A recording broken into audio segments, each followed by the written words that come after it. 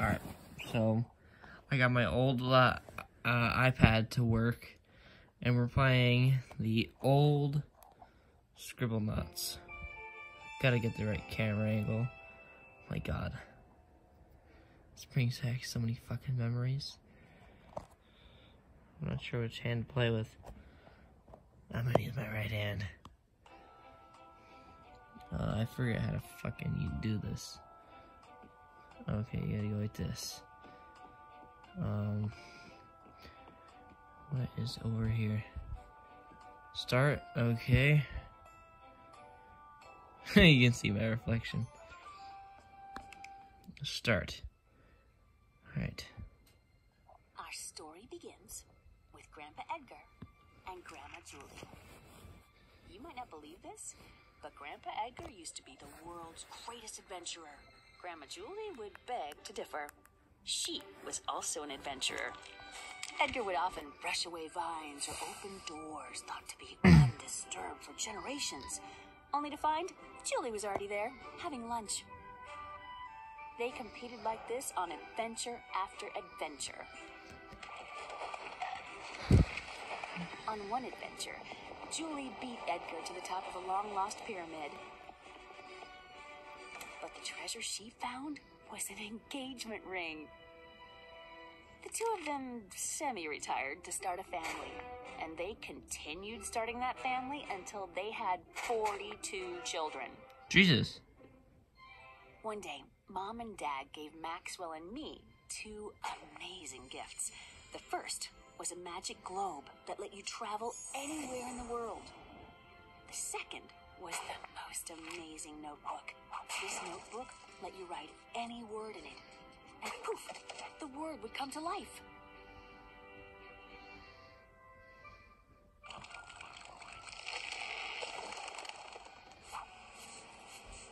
Our parents were worried about us turning out to be spoiled little brats, so they sent us out to face the challenges of the outside world. On the road to the city, we ran into an old man who said he was hungry. Maxwell made something to give him, but he played a nasty trick. The apple was rotten. Oh, the old man spat it out as soon as he tasted it and was very, very angry. As he cast some sort of magic, he called us spoiled little kids and then disappeared. Didn't seem like anything had happened. But when Maxwell turned to continue down the road, I couldn't follow him. The old man had put a curse on me that was turning me to stone. We didn't know what to do. Luckily, our brother Edwin's farm was nearby.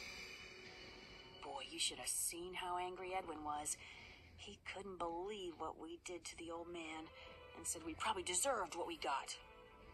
Lucky for us, Edwin knew about starites. Starites are magical objects born out of the happiness of others. If you do enough things to make others happy, you will find starite. Hopefully, if Maxwell used the notebook's power for good, he could collect enough starite to remove the curse. Maxwell said, That's it! I'm gonna go out and do good things for all the people I can find. I'm gonna get all the starites in the world, and gonna make you better, Lily. So Maxwell grabbed his notebook and headed for the door. Okay. So far, this is pretty.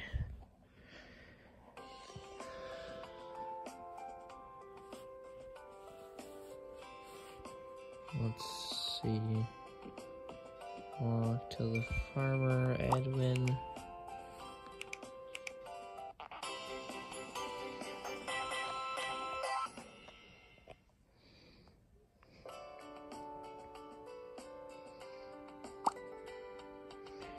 Turn the runt of liver into an award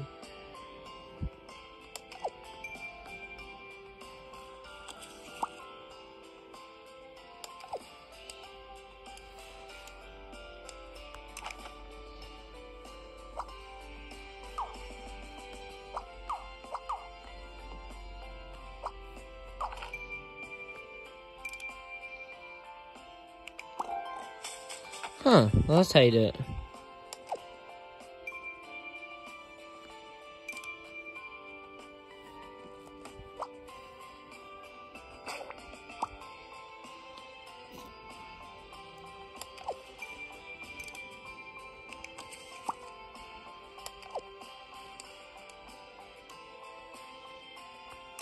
Big Poppy.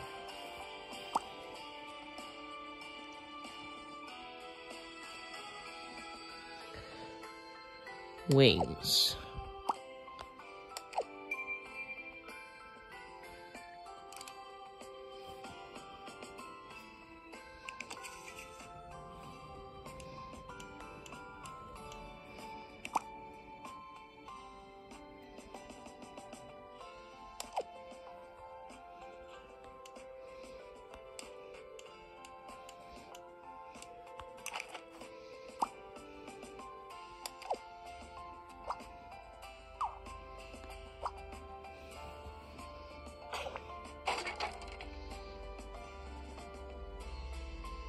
What do you need this for? Oh, I need it now. I need it.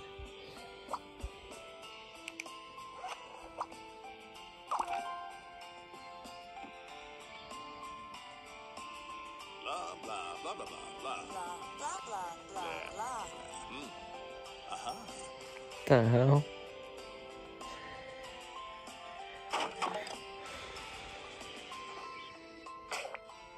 Oh, yes, he won.